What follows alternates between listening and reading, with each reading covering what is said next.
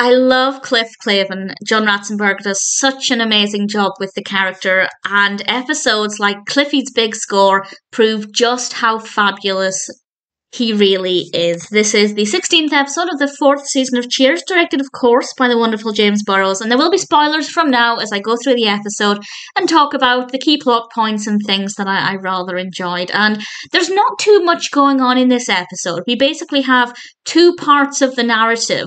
The first involves Cliff trying to get a date, and the second involves the aftermath. And that's it. That's basically all there is. But there's so much there that we can still carry the narrative forward, even if it doesn't seem like a lot is happening, because we have a lot of great moments throughout it.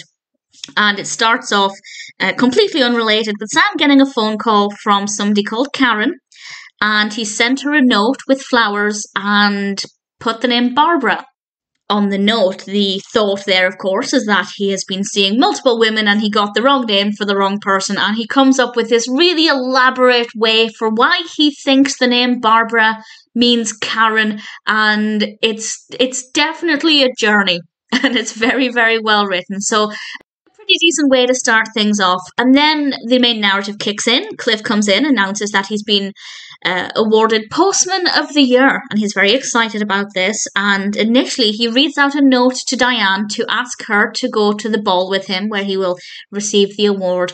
And she says no because she's busy.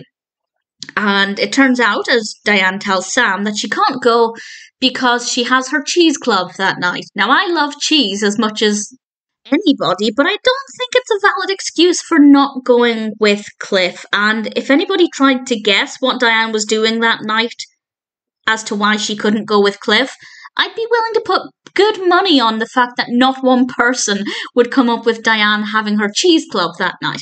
And while she's telling this to Sam, Cliff has actually decided he's going to try and ask Carla so he takes Carla into the pool room, and it's very rare that we will have just Carla and Cliff in the same scene.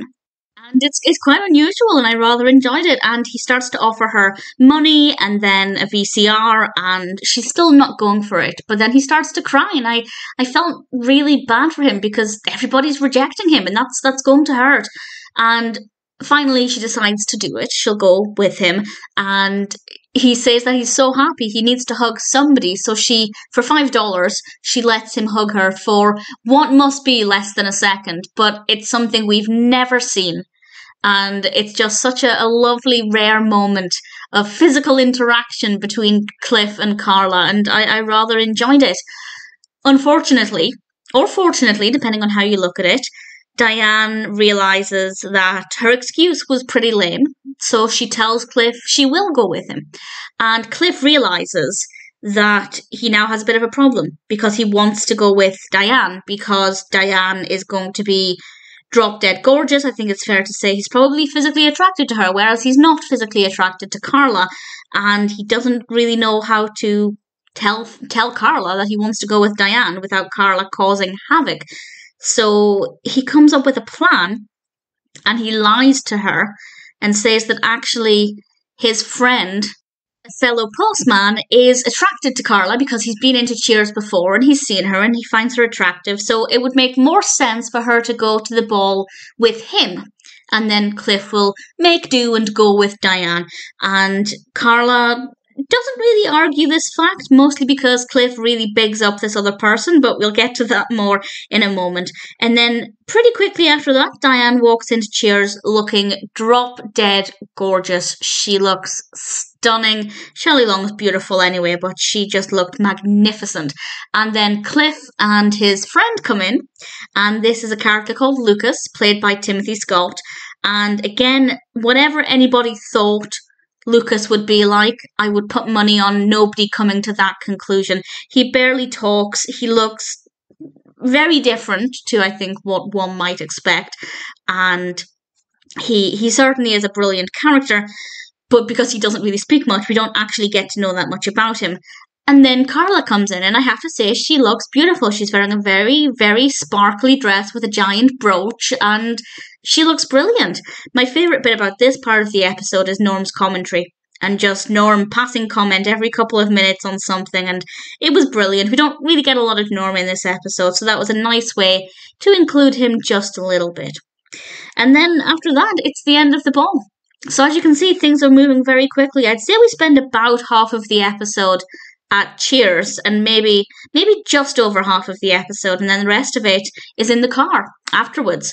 And Carla and Lucas are getting along very well, to put it simply. And it's it's definitely an unexpected thing, but I think it worked very well. It was nice to see that Carla had clearly had a good time and Cliff had had a good time as well. But he's kind of a bit I don't want to say jealous of Lucas, but maybe he is because I don't think Cliff is necessarily attracted to Carla. But Lucas is getting some action, and Cliff says that he chose the wrong person. He kind of muttered it to himself, but Carla heard. She doesn't tell him that she heard, and she has some fun with it. And I just think this leads us to one of my favourite moments in Cheers because she tells him that she heard Diane say that she wished Cliff would come on stronger, and she gives Cliff some some bits of advice for how to come on to Diane. And then a few minutes later, Diane comes in uh, into the car and they're all ready to go home. And Cliff stops the car, claiming to have run out of gas. And he be- he begins to run his finger up and down Diane's arm. And Shelley Long's face is just the most fantastic thing ever. Diane's facial expression at that point is just incredible. And then Cliff starts to sing to her, and Ratzenberger's performance was just amazing. And the just the interaction between the two of them I just absolutely loved.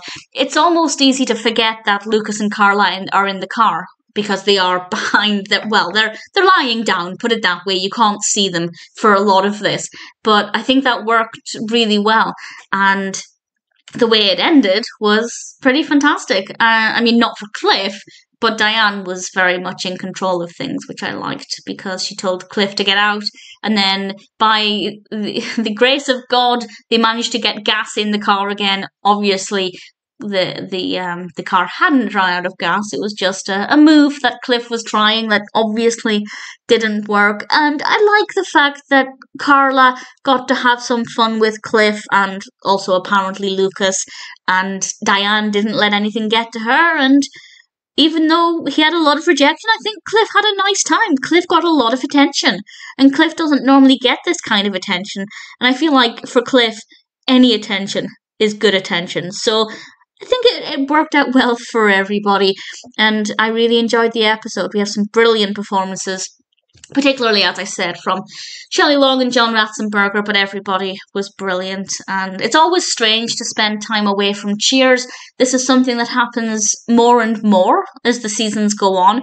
But because the characters are, are so strong that even though the show is very much centered around the bar, whenever we're away from it, things are just as brilliant as always because the characters are as brilliant as always and, and the performances are great. And Cliffie's Big Score is a great example of how this works very well. Definitely a solid episode, and while it's probably not one of my favourites from season four, it wouldn't make a top five list. It is, all things considered, pretty fantastic, and I would be very happy to watch it again and again, as I'm sure I will at some point. It's a pretty brilliant episode.